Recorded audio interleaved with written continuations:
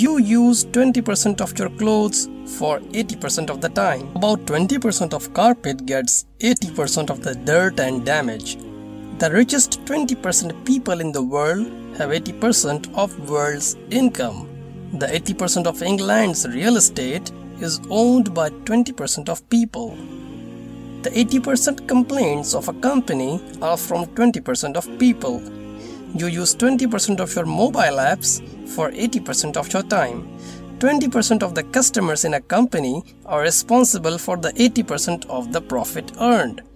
This principle shows up over and over again in about every field and it is called 80-20 or the Pareto's principle. The ratios may be different from one example to another but it has a deeper meaning and that is that the majority of the effects come from the minority of the causes. So let's take a look at how this works in business, social interactions, relationships and your very happiness. First of all, let's talk about business.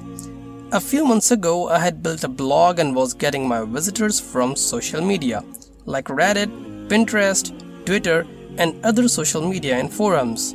So I decided I was going to make the process more efficient. I looked into my data and guess what I found? For every 10 visitors that I got from Facebook, I only got one from Instagram, one from Twitter, and a few more from other forums and social media. I thought I'm an idiot. I'm spending the same amount of time on all these platforms, yet look at the results. So I basically completely removed out the ones with the least traffic and it freed up so much time for me to write genuine stuff, genuine articles that people were interested in. And that made a huge difference in how my blog performed. Now let's take a look at social interactions.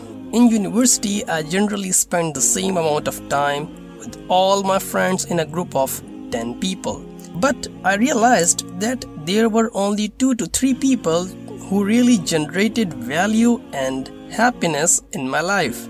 I'm not saying that from now on you should start by boycott meeting people, but dedicating my time to only those specific people brought literally huge changes in my life in terms of happiness and free time. Now let's look at relationships.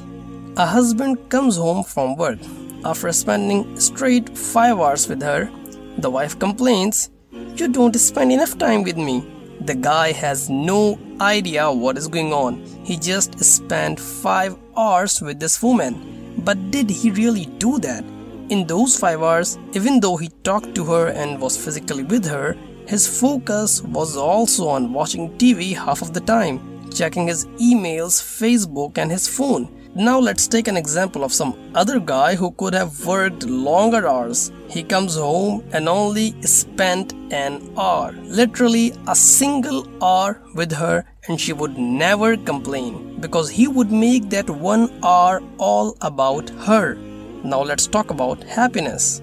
How well you allocate your free time goes a long way to encourage your happiness and general mood. Let's look at an example. I like good food, so whenever I go out to eat at a nice place, it's mostly about the food and less about the ambience, music, environment. So I decided to make a list of restaurants that I like. Now from that list I observed where am I paying more for ambience and less for taste and quality of food. I removed those restaurants from my list. Now let me tell you the great advantages I gained from this new list.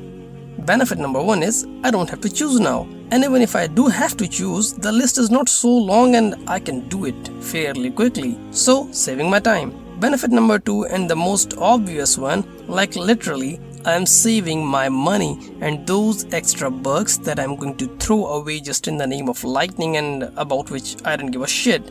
And benefit number three is that feel more happier.